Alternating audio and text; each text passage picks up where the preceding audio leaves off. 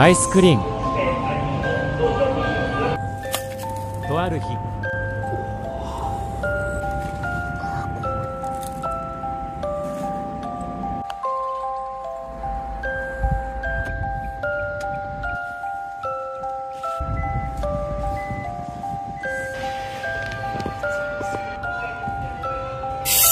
ーコーラ。スパイシーで上品な味パンチのある飲み応えそうっすよね。なんかスパイシーな香りしました。昔懐かしいアイスクリーム。アイスクリーム。1987年生まれ。ほんまもんは美味しい。くつろぎスペースは手洗いもあるし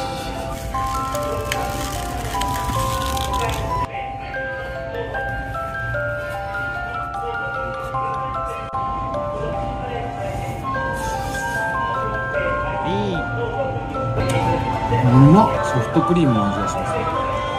このラクトアイスが超えられなかったソフトクリームの壁を越えてます。プリングルスみたいなやつ。ミスターポテト。ホットスパイシー。メイドインマレーシがっちりしたパッケージ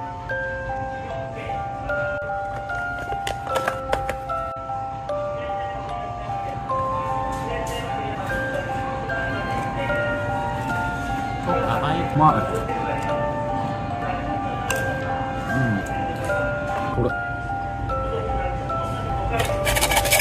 食べやすくみんなバラバラですサンキュー